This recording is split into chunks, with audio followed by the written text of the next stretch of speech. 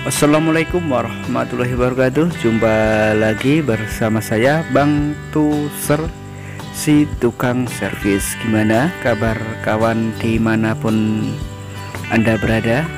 Semoga selalu baik-baik saja.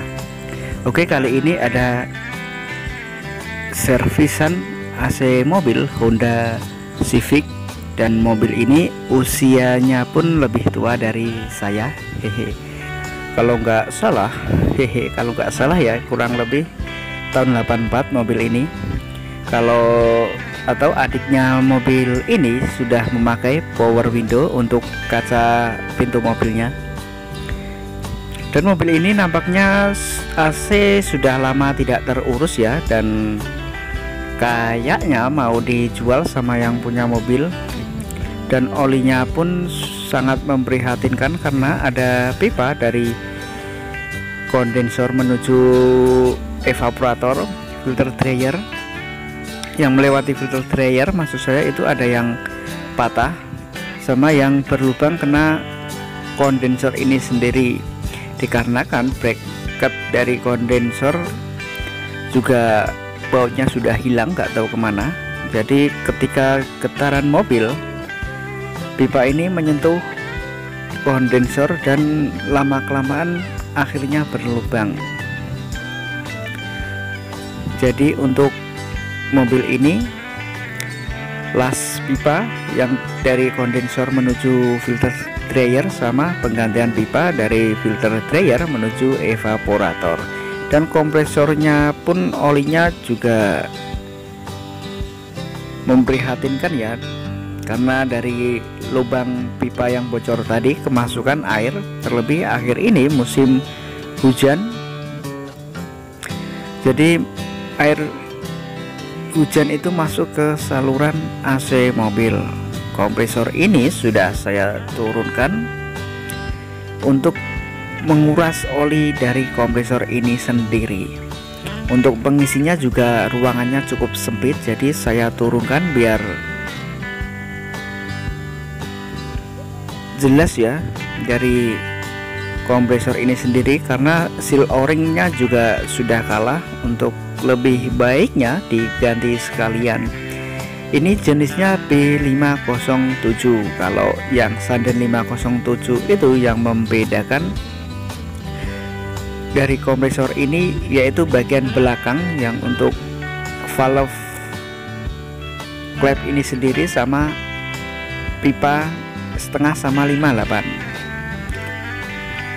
ini memakai o-ring dan o-ringnya ini jadi satu dari bracket pipanya tadi. Ini sudah saya ganti pipanya tinggal di flaring saja. Dan saya atau LPS nya tidak saya pasang jadi nggak ada masalah karena juga yang punya mobil beralasan untuk dijual yang penting AC nya dingin. Katanya bisa mendongkrak untuk nilai jualnya. Hehe. Kondensor sama pipa lainnya juga sudah saya flash. Ini sudah saya rakit dan nampak sekali dari pipa ini sudah mengembun. Air pembuangannya juga cukup deras. Mungkin untuk lebih dingin lagi kalau oli kompresornya nggak telat seperti tadi ya. Olinya sudah kayak kopi lavante. Jadi kompresi dari kompresor ini sendiri kurang kuat atau posisi stasioner lemah ya? LPS atau low pressnya saja posisi stasioner 50 PSI dan ini pun saya kasih air pada kondensornya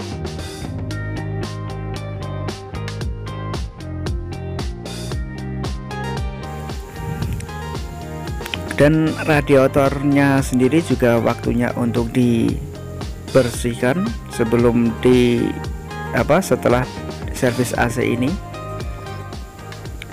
Sering saya katakan bahwa freon itu kalau nggak ada kebocoran lebih dari satu tahun atau bahkan dua tahun. Namun oli kompresornya sendiri yang habis duluan.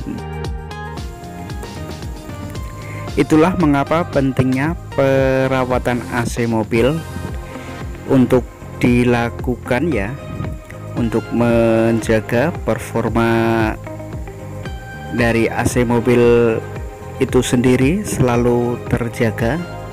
Untuk perawatannya pun juga tidak terlalu menguras biaya.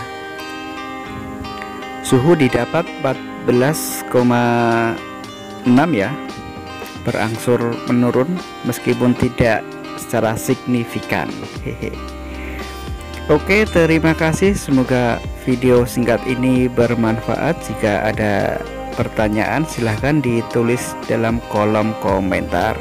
Sampai jumpa di lain kesempatan. Tetap semangat dan salam sejuk. Wassalamualaikum warahmatullahi wabarakatuh